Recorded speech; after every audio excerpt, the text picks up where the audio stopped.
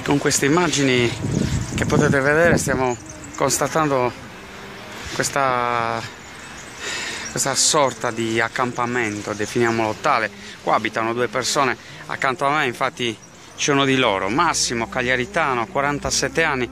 Massimo, ma come si fa a vivere, abitare all'interno di questa sorta di casupola al freddo, al gelo e sotto la pioggia?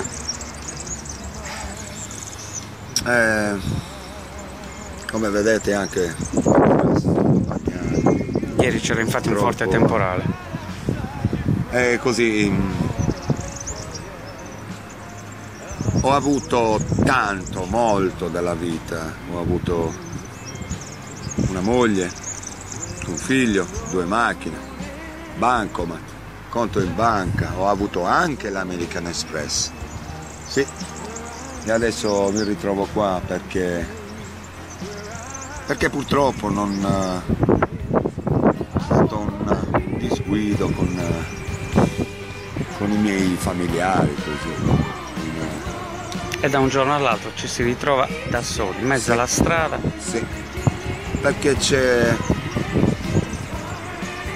c'è una salita ma c'è anche una discesa nella vita. e Mi dispiace, ma ci sarà un'altra volta una salita. È un...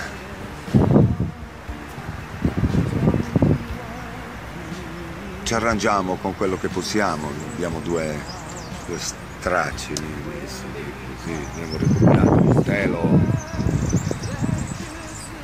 e abbiamo fatto una capannella, ci conoscono tutti, nella miniera, polizia, tutti, assolutamente non... Vi aiuta la Caritas, anche perché poi mi, mi dicevi che tu vai a dormire in Viale Ciusa, Sì, nella sì, square. sì, sì, sì, sì. Però c'è l'altra parte della tua vita, quella più bella, più serena, perché mi accennavi che state facendo degli spettacoli al Teatro Massimo. Sì, sì, oggi è l'ultimo, eh, alle 7 abbiamo l'ultimo spettacolo.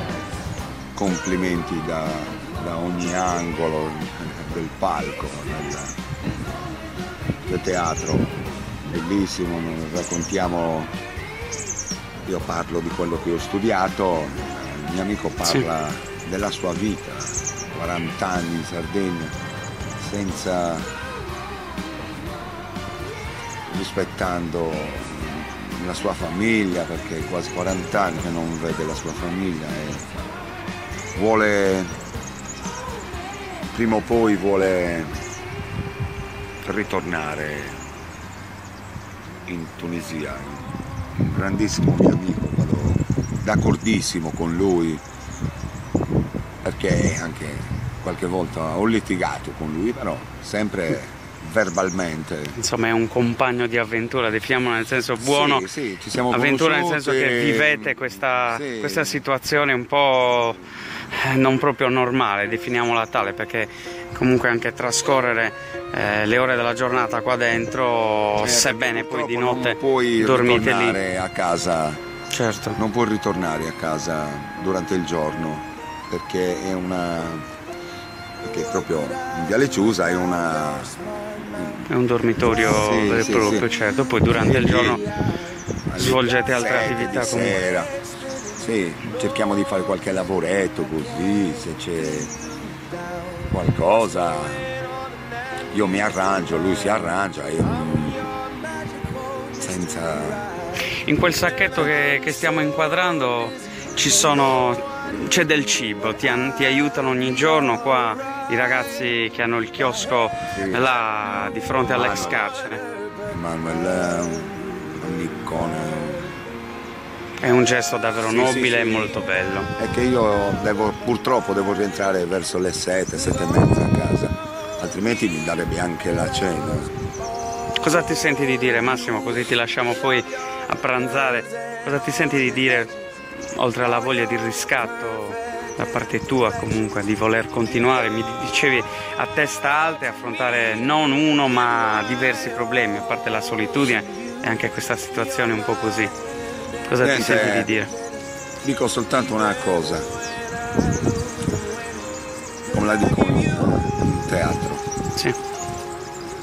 avrei bisogno di un lavoro, basta. quindi facciamo un appello, lanciamo un appello a quelle persone che in, questa, in questo momento stanno ascoltando e hanno ascoltato una parte della tua vita.